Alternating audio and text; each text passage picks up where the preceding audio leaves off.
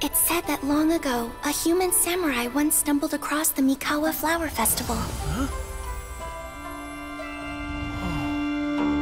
What's a human doing here?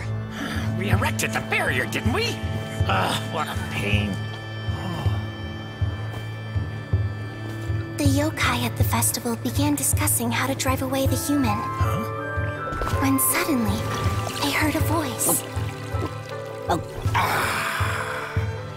This is our festival. And the point is to have fun. What difference does it make if a human joins us yokai? The speaker appeared to be a prominent figure among the yokai, and when he spoke, the other yokai fell silent. You there, young man. Do you drink sake? Uh, yes, I do. ha! Then join us. We can enjoy tonight's festivities together. And so, the yokai and samurai celebrated together. The two competed in the highlight of the festival, the Akitsu Hazara. Their spectacular game ended in a draw, and a new friendship was forged. I can't believe a human could keep up with me. Witnessing the dynamic powers of the yokai will certainly help hone my swordsmanship. You're a swordsman?